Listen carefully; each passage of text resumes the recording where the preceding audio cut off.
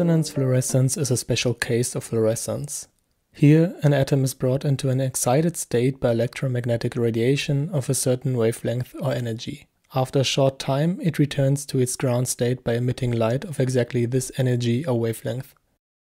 This is possible because excited atoms fall back into their ground state without losing energy through oscillation.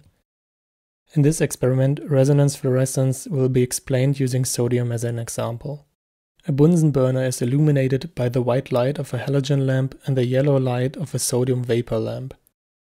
The light falls on a white wall and can be observed there. The tip of a non-flammable ceramic rod can be immersed in common salt, i.e. sodium chloride, and then held in the flame.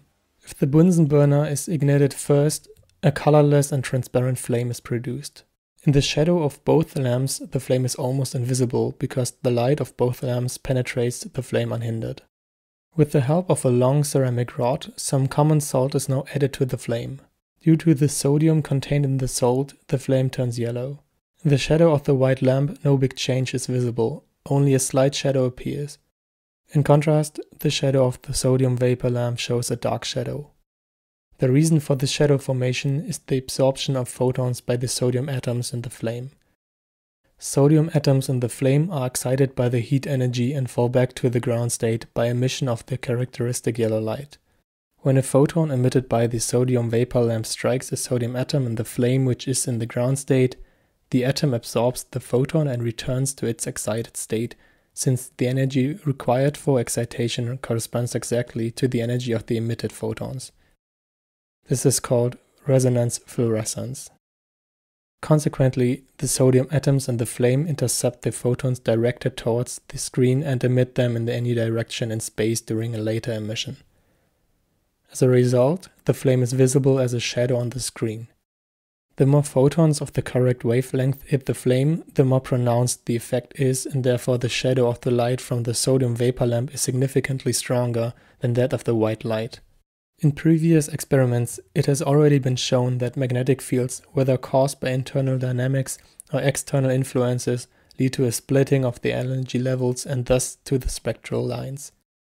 In the following experiment, we will investigate whether an externally applied magnetic field has an effect on the resonance fluorescence of sodium. For this experiment, almost the same setup as in the preliminary experiment is used. However, a longer sodium chloride coated ceramic rod is now held in the flame of the Bunsen burner and a magnetic field is applied into this flame with the aid of two pole shoes.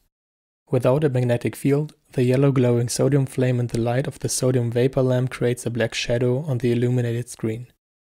When the current through the solenoid magnet is switched on, it can be observed that the shadow of the flame disappears at the points where the flame is penetrated by the magnetic field. As a result, the light from the sodium vapor lamp is no longer absorbed in these areas and can be again passed through the flame unhindered.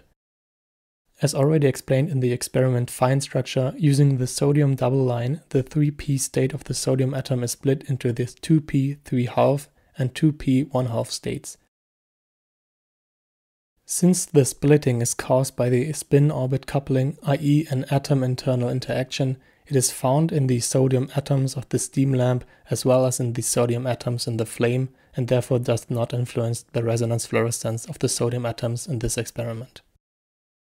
However, the externally applied magnetic field does only influence the sodium atoms in the flame which are located in the magnetic field. Similar to spin-orbit coupling, there is an interaction of the magnetic moment of the electrons resulting from the spin with the magnetic field.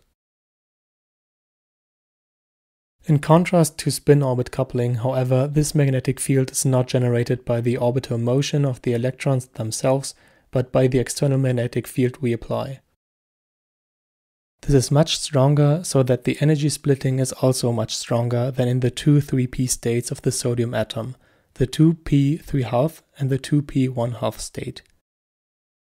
As a consequence, the sodium atoms which are in the magnetic field are excited by different energies than before, and the photons emitted by the sodium vapor lamp no longer lead to resonance fluorescence.